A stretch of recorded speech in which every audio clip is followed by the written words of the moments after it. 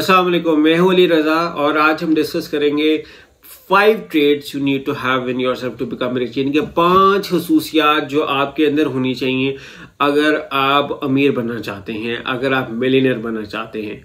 So let's get started with it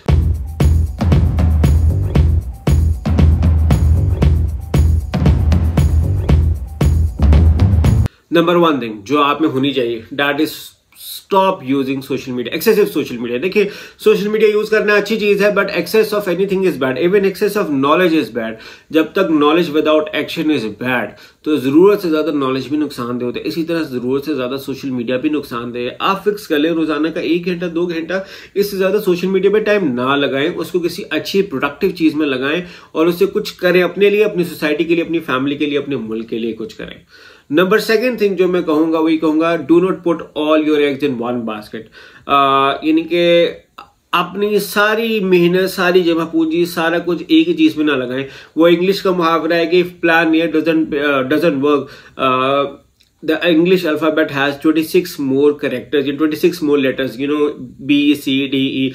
So, सारा कुछ अपना प्लान ए पे डिपेंडेंट ना हो, बल्कि प्लान बी सी करके मल्टीपल प्लान हो, उनको ऊपर करें डेफिनेटली रिसोर्सेज जो है, उसको डिवाइड करके लगाना चाहिए।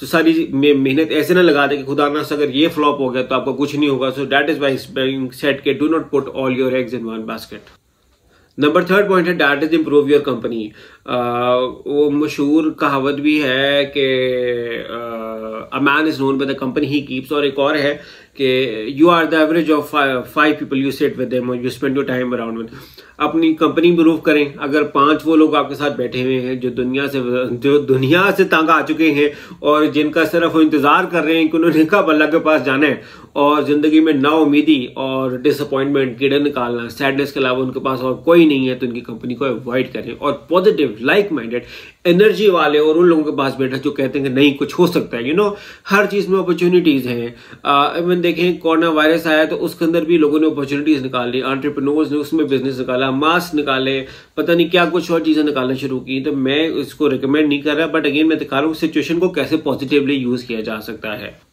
चौथी चीज़ जो है ना, बड़ी इंपॉर्टेंट स्पेशली मैं पाकिस्तानी को कहूँगा वो ये है कि जी willingness to learn and improve हम लोग तो वैसे अपने आपको समझते हैं फंडिंग हाँ है हमसे बेहतर कोई नहीं है। We are the expert we are the master of everything नहीं भाई, नहीं, ज़रूरी नहीं you are not the perfect तो मुकम्मल तो खुदा की जात है। तो तब तक there is always a room for improvement हर वक्त इम्प्रूवमेंट की जगह होती है तो उसको यूज़ करें यूटिलाइज करें और बेहतर हों और अपने आप को बेहतर करें और जहाँ चांस हो, वहाँ पे इम्प्रूवमेंट करके दिखाएँ। और सीखें, जहाँ तक सीख सीख सकते हैं, सीखें। सीखें इंप्रूव करें, अपने कंपेटिटर से सीखें, अपनी मिस्टेक से सीखें डीट हो गए अड़ ना जाए, जहाँ गलती क्यों सीखें और अपने आप को इंप्रूव करें।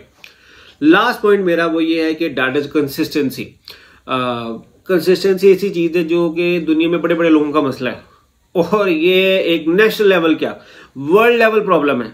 कि आज हम प्रोजेक्ट शुरू करते हैं, दो दिन बाद कहते हैं, भाई, ओ पे ये चीज़ है, ये हम नहीं कर सकते. क्यों? क्योंकि हम कंसिस्टेंट नहीं है। That is a very very core problem in majority of us बहुत बड़ी प्रॉब्लम है, हम में है। ये मैं कहता हूँ, मुल्क की क्या, दुनिया की सतह में मसला ये वाला।